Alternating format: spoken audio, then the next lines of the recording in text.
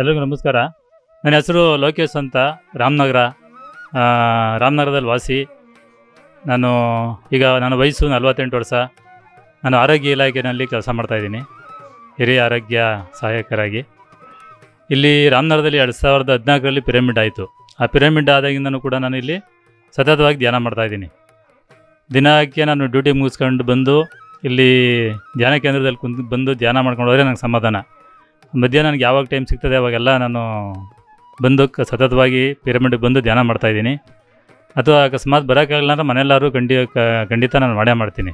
ರಾತ್ರಿ ಮಲಗೋಕೆ ಮುಂಚೆ ಅಂದರೆ ಧ್ಯಾನ ಮಾಡೇ ಕಿಡ ಆಮೇಲೆ ಮಲಗಬೇಕಾದ್ರೆ. ಅದಂತೂ ಇದಾಗಿದೆ, ಪ್ರಯತ್ನ ಇದಾಗ್ಬಿಟ್ಟಿದೆ. ಸತತವಾಗಿ ಆಧಾರ ಆಗಿಬಿಟ್ಟಿದೆ. ಎರಡು ಸಾವಿರದ ಹದಿನಾಲ್ಕರಿಂದನೂ ಕೂಡ ಇಲ್ಲಿ ನಾನು ಧ್ಯಾನ ಮಾಡ್ತಾಯಿದ್ದೀನಿ ಈ ಸಂದರ್ಭದಲ್ಲಿ ಒಂದು ಬಸವಣ್ಣವರೊಂದು ವಚನ ಇದೆ. ಜ್ಞಾನದ ಬಲದಿಂದ ಅಜ್ಞಾನದ ಕೆಡ ನೋಡಯ್ಯ ಜ್ಯೋತಿಯ ಬಲದಿಂದ ತಮಂದದ ಕೆಡ ನೋಡಯ್ಯ ಸತ್ಯದ ಬಲದಿಂದ ಅಸತ್ಯದ ನೋ ಕೆಡ ನೋಡಯ್ಯ ಪರುಸದ ಬಲದಿಂದ ಅವಲೋಹದ ಕೆಡ ನೋಡಯ್ಯ ನಮ್ಮ ಕೂಡಲ ಸಂಗನ ಶರಣರ ಅನುಭವದಿಂದ ಎನ್ನ ಮನದ ಕೆಡ ನೋಡಯ್ಯ ಅಂದ್ಬಿಟ್ಟು. ಹಾಗಾಗಿ ಇಲ್ಲಿ ಧ್ಯಾನದಿಂದ, ಅಂದರೆ ಧ್ಯಾನ ಮಾಡೋದ್ರಿಂದ ಒಳ್ಳೆಯ ಧ್ಯಾನ ಬರುತ್ತೆ. ಆ ಧ್ಯಾ ಜ್ಞಾನದಿಂದ ನಮ್ಮ ಭೌತಿಕವಾಗಿರ್ಬೋದು ಅಥವಾ ಮಾನಸಿಕವಾಗಿರ್ಬೋದು ಇರುವಂಥ ಸಣ್ಣ ಪುಟ್ಟ ಸಮಸ್ಯೆಗಳು ಅದೇ ರೀತಿ ದೊಡ್ಡ ಸಮಸ್ಯೆಗಳು ಕೂಡ ಪರಿಹಾರ ಪರಿಹಾರ ಆಗ್ತವೆ. ಮತ್ತು ಪರಿಹಾರ ಆಗೋಕ್ಕೆ ಒಂದು ನಮ್ಮಲ್ಲೇ ಒಂದು ದಾರಿ ಮಾಡ್ಕೊಬೋದು ನಾವೇನೆ. ಆ ರೀತಿ ಒಂದು ಅನುಭವ ನನಗಾಗಿದೆ. ಧ್ಯಾನದಿಂದ. ಸತತವಾಗಿ ಒಂದು ಧ್ಯಾನ ಮಾಡೋದ್ರಿಂದ ನಮಗೆ ಮಿನಿಟು ಒನ್ ಅಂತ ಅಂತೀವಿ. ಅಂದರೆ ನಮಗೆ ನಿದ್ದೆ ಮಾಡಿದಾಗ ಯಾವ ರೀತಿ ನಮಗೊಂದು ರಿಲ್ಯಾಕ್ಸೇಷನ್ ಸಿಗ್ತದೆ ಮನಸ್ಸಿಗೆ, ಸಮಾಧಾನ ಸಿಗ್ತದೆ. ಅದೇ ರೀತಿ ಧ್ಯಾನ ಮಾಡೋದ್ರಿಂದ ಇನ್ನೂ ಅದಕ್ಕಿಂತ ಹೆಚ್ಚಿಗೆ ನಮಗೆ ನಮ್ಮ ಬಾಡಿಗೆ ಮತ್ತು ಮೈಂಡಿಗೆ ಹೆಚ್ಚಿಗೆ ರಿಲ್ಯಾಕ್ಸೇಷನ್ ಸಿಗ್ತದೆ. ಅದು ನನ್ನ ಅನುಭವ ಆಗಿದೆ. ಹಾಗಾಗಿ ನಾವು ಧ್ಯಾನ ಮಾಡೋದು ತುಂಬ ಮುಖ್ಯ ಈ ಒಂದು ಗುರುಗಳ ಮಾರ್ಗದರ್ಶನದಲ್ಲಿ ನಾವು ಧ್ಯಾನ ಮಾಡಿದ್ರೆ ನಾವು ಯಾವ ರೀತಿ ನಮ್ಮ ಪ್ರತಿನಿತ್ಯ ನಮ್ಮ ಜೀವನದಲ್ಲಿ ಹೇಗೆ, ಅಂದರೆ ಈಗ ಪ್ರಾಣಿಗಳಿಗೆ ಧ್ಯಾನ ಮಾಡು ಅಂತ ಹೇಳೋಕ್ಕಾಗಲ್ಲ. ಅವಕ್ಕೆ ಅಷ್ಟು ಜ್ಞಾನ, ಧ್ಯಾ ನಾಲೆಡ್ಜ್ ಇಲ್ಲ ಅವಕ್ಕೆ. ಅಂದರೆ ನಾವು ಮನುಷ್ಯರಾಗಿ ನಾವು ಹುಟ್ಟಿರೋದ್ರಿಂದ ನಾವು ಯಾವ ರೀತಿ ನಾವು ದಿನ ಬೆಳಗ್ಗೆ ಎದ್ದು ಊಟ ಮಾಡ್ತೀವಿ ನೀರು ಕುಡಿತೀವಿ, ಅಥವಾ ಇನ್ನು ನಿದ್ದೆ ಮಾಡ್ತೀವಿ, ಎಲ್ಲ ಮಾಡ್ತೀವಲ್ವ ಅದೇ ರೀತಿ ಒಂದು ಧ್ಯಾನ ಮಾಡೋದು ಕೂಡ ನಮ್ಮ ದಿನ ದಿನನಿತ್ಯ ಜೀವನದಲ್ಲಿ ಒಂದು ಅವಿಭಾಜ್ಯ ಅಂಗವಾಗಿ ನಾವು ಅಳವಡಿಸ್ಕೊಂಡ್ರೆ ಒಳ್ಳೆಯದು ಅದು ಯಾವಾಗಿಂದ ಸ್ಟಾರ್ಟ್ ಸ್ಟಾರ್ಟ್ ಆಗಬೇಕು ಅಂದರೆ ನನ್ನ ಒಂದು ಪ್ರಕಾರ ಗರ್ಭಿಣಿ ಇದ್ದಾಗಿಂದಲೇ ಸ್ಟಾರ್ಟ್ ಆಗಬೇಕು. ಮನ್ಸಿನ ಜನ್ಮ ಸ್ಟಾರ್ಟ್ ಆಗೋದು ಅವಾಗಿಂದ. ಅವ ಏನೋ ಒಂದು ಗರ್ಭಿಣಿ ಆಗ್ತಾರೆ, ಆ ಭ್ರೂಣದಿಂದನೇ ಸ್ಟಾರ್ಟ್ ಆಗಬೇಕು. ಆ ಗರ್ಭಿಣಿ ಏನು ಧ್ಯಾನ ಮಾಡಿದ್ರೆ ಆ ಹೊಟ್ಟೆಲಿರೋ ಮಗು ಮೇಲೆ ಹೆಚ್ಚಿಗೆ ಪರಿಣಾಮ ಬೀರ್ತದೆ. ಆಮೇಲೆ ನಾವು ಮಕ್ಕಳಿಗೆ ಈಗ ವಯಸ್ಸಾದ ಮೇಲೆ ನೀನು ಧ್ಯಾನ ಮಾಡುವಂಥ ಅಂದರೆ ಅವ್ರಿಗೆ ಅಷ್ಟೊಂದು ಇದಾಗಲ್ಲ. ಆ ಗರ್ಭಿಣಿ ಆಗಿದ್ದಾಗೇ ಅವ್ರು ಧ್ಯಾನ ಮಾಡಿದ್ರೆ ಅವಾಗಿಂದನೇ ಅವರಿಗೆ ಒಂದು ಫೀಡ್ ಮಾಡ್ದಂಗೆ ಆಗಿರ್ತದೆ ಆಮೇಲೆ ಮಕ್ಕಳಿಂದನೇ ಅದೊಂದು ಸ್ವಲ್ಪ ನಾವು ಸಂಸ್ಕಾರ ಸ್ಟಾರ್ಟ್ ಮಾಡಿದ್ರೆ ಅವ್ರಿಗೆ ಅವಾಗಿಂದನೇ ಒಂದು ಸಂಸ್ಕಾರ ಕೊಟ್ಟಂಗೆ ಆಗ್ತದೆ. ಅದು ಹಂಗೆ ಕಂಟಿನ್ಯೂ ಆಗ್ತದೆ. ಹಂಗಾಗಿ ಇದು ಅಲ್ಲಿಂದನೇ ಗರ್ಭಿಣಿಯರಿಂದನೇ ನನ್ನ ಒಂದು ಅನುಭವದ ಪ್ರಕಾರ ಒಂದು ಪುರಾಣ ಎಲ್ಲ ನೋಡಿದಾಗ ಅಭಿಮನ್ಯು ಪ್ರಸಂಗ ಮತ್ತು ಪ್ರಹ್ಲಾದನ ಪ್ರಸಂಗ ಅವೆಲ್ಲ ನೋಡಿದಾಗ ನಾವು ಈ ಗರ್ಭಿಣಿಯಿಂದನೇ ಈ ಧ್ಯಾನ ಪ್ರಾರಂಭ ಮಾಡಿದ್ರೆ ಒಳ್ಳೆಯದು ಅಂತ ಅನಿಸ್ತದೆ. ಅವರು ಪ್ರಾರಂಭ ಮಾಡಿದ್ರೆ ಆ ಮಗುನೇ ಕೂಡ ಒಳ್ಳೆಯ ಧ್ಯಾನಿ, ಜ್ಞಾನಿ ಆಗ್ತದೆ.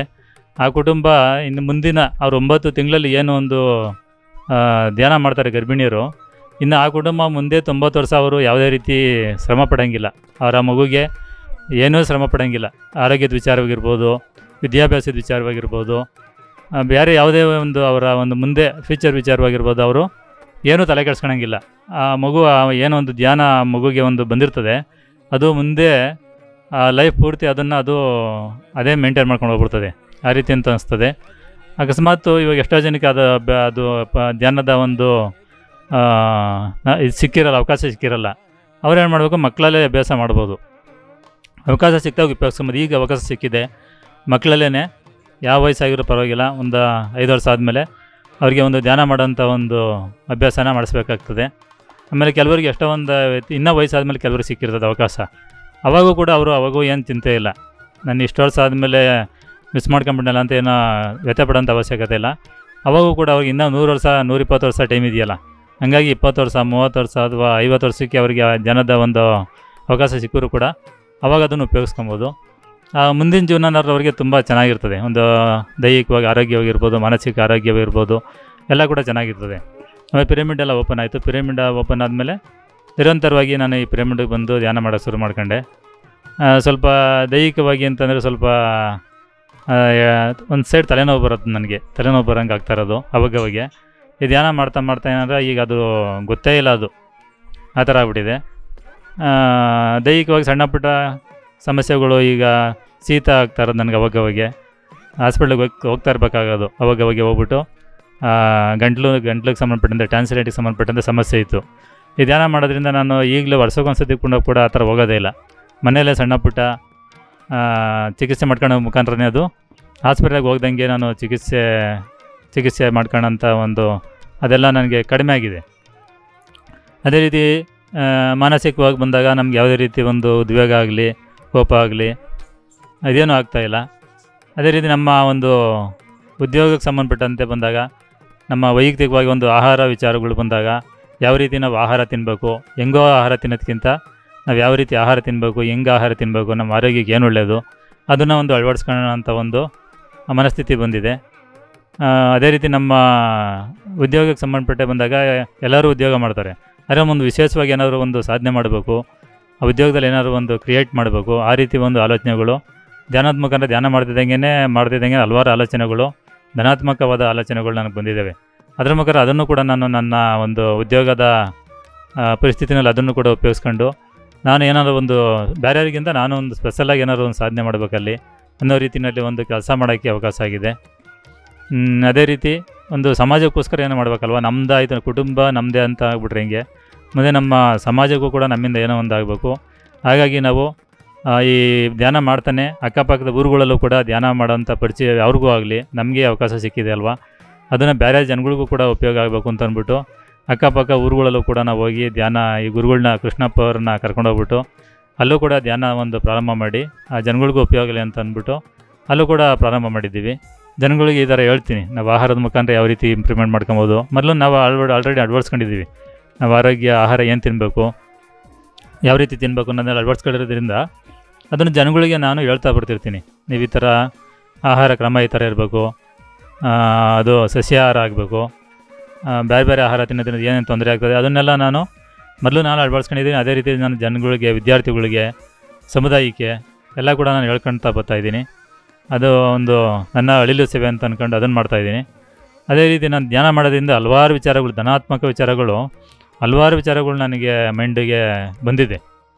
ನಮ್ಮ ಒಂದು ಆರೋಗ್ಯದ ವಿಚ, ಆರೋಗ್ಯ ಪರಿಸ್ಥಿತಿ ಮತ್ತು ಆರ್ಥಿಕ ಪರಿಸ್ಥಿತಿ ಇಂಪ್ರೂವ್ಮೆಂಟ್ ಮಾಡ್ಕೊಬೇಕಾದ್ರೆ ಏನೇನು ಮಾಡಬೇಕು ಅನ್ನೋದೆಲ್ಲ ಒಂದು ಈ ಧ್ಯಾನದಿಂದ ನನಗೆ ಆದಷ್ಟು ನನಗೆ ಬಂದಿದೆ. ಅದನ್ನು ಈಗಾಗಲೇ ಈ ಸ್ವಲ್ಪ ಮೊದಲನೇ ಹೆಜ್ಜೆಯಾಗಿ ಈ ಒಂದು ಪ್ರಾಜೆಕ್ಟ್ ಏನೋ ಒಂದು ನಾವು ನಮ್ಮ ಹುಡುಗರೆಲ್ಲ ಸೇರ್ಕೊಂಡು ಒಂದು ಪ್ರಾಜೆಕ್ಟ್ ಈಗ ಸ್ಟಾರ್ಟ್ ಮಾಡ್ತಾಯಿದ್ದೀವಿ ಅದನ್ನು ಅದನ್ನು ಮೊದಲ ಹೆಜ್ಜೆ. ಅದರಿಂದ ಮುಂದಕ್ಕೆ ಹೋಯ್ತಾ ಹೋಯ್ತಾ ಯಾವ ರೀತಿ ಜನಗಳು ಮೇಯ್ನಾಗಿ ಆ, ಆಹಾರದಿಂದ ನಮ್ಮ ಆಹಾರ ಪರಿಸ್ಥಿತಿ ಯಾವ ಯಾವ ರೀತಿ ಇವತ್ತು ಕೆಟ್ಟೋಗಿದೆ, ಅದನ್ನು ಸರಿ ಮಾಡ್ಕೊಬೇಕು. ನಾವು ತಿನ್ನೋ ಆಹಾರ ಮಲ್ಲ ಸರಿ ಹೋಗಬೇಕು.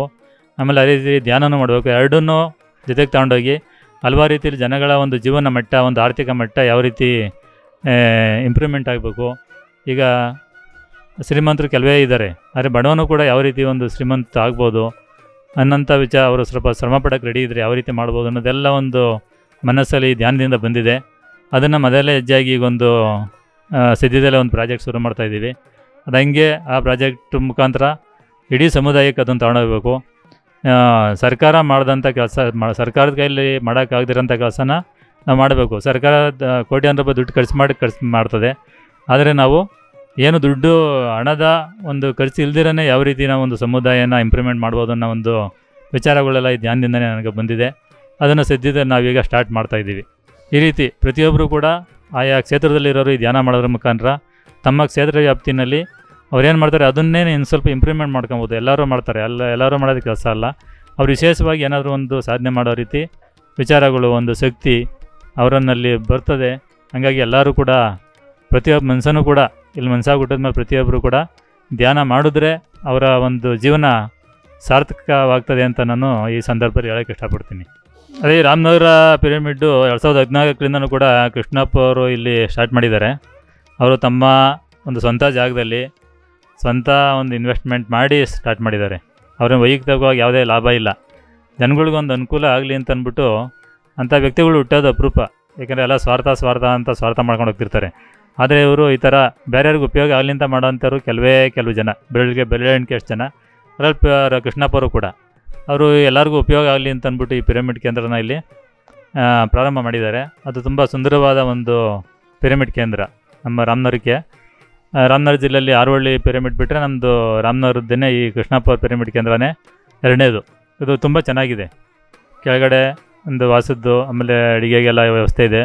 ಮಧ್ಯದಲ್ಲಿ ಒಂದು ಹಾಲಿದೆ ಅಲ್ಲೂ ಕೂಡ ಧ್ಯಾ ಪ್ರತಿ ವಾರ ಎಲ್ಲ ಸಾಮೂಹಿಕವಾಗಿ ಧ್ಯಾನ ಮಾಡಿ ವ್ಯವಸ್ಥೆ ಇದೆ. ಮೇಲ್ಗಡೆ ಪಿರಮಿಡ್ ಇದೆ. ಆ ಪಿರಮಿಡಲ್ಲಿ ನಾವು ಡೈಲಿ ಬಂದು ಆ ಪಿರಮಿಡಲ್ಲೇ ಕುಂತ್ಕೊಳ್ಳೋದು ಧ್ಯಾನ ಮಾಡ್ತಾ ಇರ್ತೀವಿ.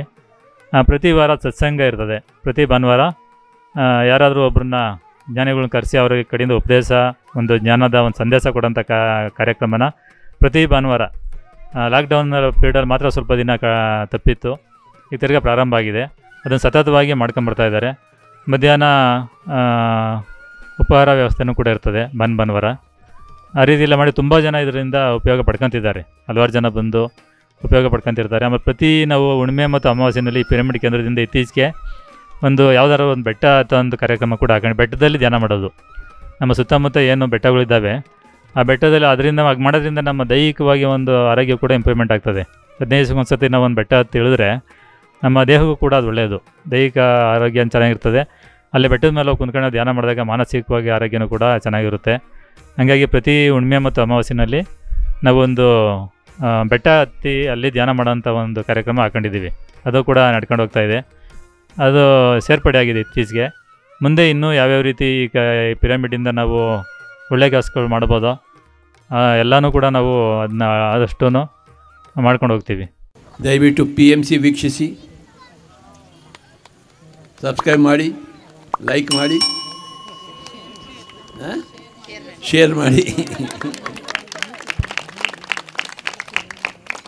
and give your experiences for P M C record your experiences so that the whole world will know your experiences